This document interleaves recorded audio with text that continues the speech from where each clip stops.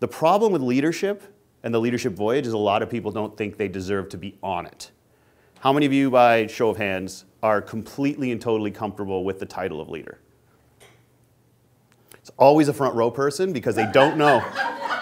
No, here's this because you don't realize no one behind you put, didn't put their like, hand up. You know, the front row puts their hand up and without any idea that, oh crap, and the, or the back row starts to feel bad on behalf of the room and they slowly raise their hand. For what it's worth, ultimately, that happens every time. Like I've asked the question to a thousand different audiences, different ages, different industries, different backgrounds, less than 1% of the time. Do I get more than half the people in the room willing to raise their hands?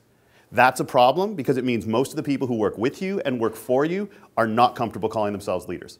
And that's a problem because in an organization, the more people at every level who are comfortable with the concept of themselves as a leader, the better decisions are made, the faster decisions are made, and the more creative the decisions are when they are made. So we need to deal with this fact that leadership for most people is something they are not comfortable with. And it's because of how we taught it to you.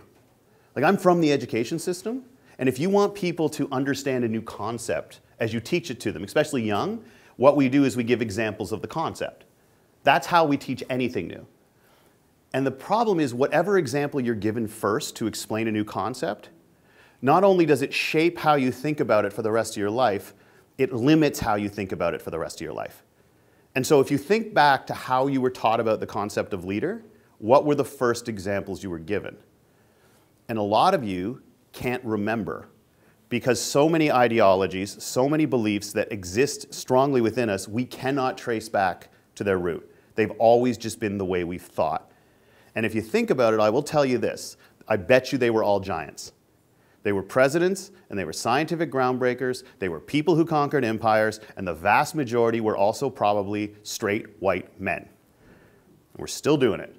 We're still telling kids look at Warren Buffett invest, look at Steve Jobs innovate, look at Mark Zuckerberg slowly destroy us all. and look, there is nothing wrong with celebrating successful people.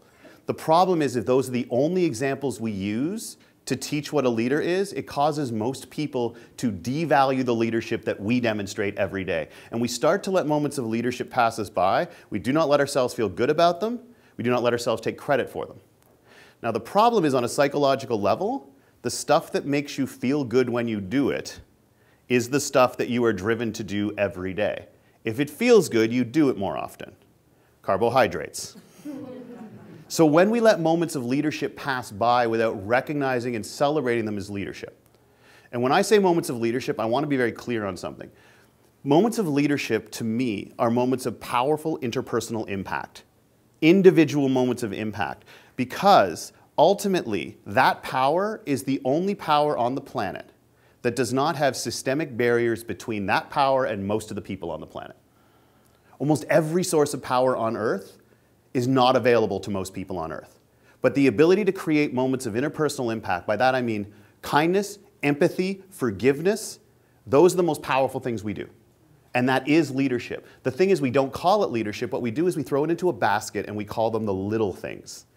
That's a struggle. We can't call them the little things. They're the most powerful things we do. And when we let those moments pass by ourselves, our colleagues, the people who work for us, and we don't call them leadership, what we're effectively doing is we're pulling leadership out of our organizations, out of our communities, out of our lives, and off the planet.